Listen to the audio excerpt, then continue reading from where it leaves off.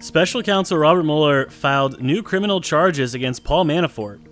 According to Reuters, charges have also been filed against a longtime business associate of Manafort's.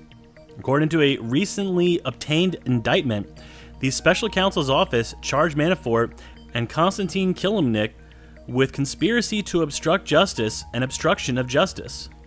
The charges stem from attempts to tamper with potential witnesses to influence their accounts of Manafort's lobbying work on behalf of political parties in Ukraine.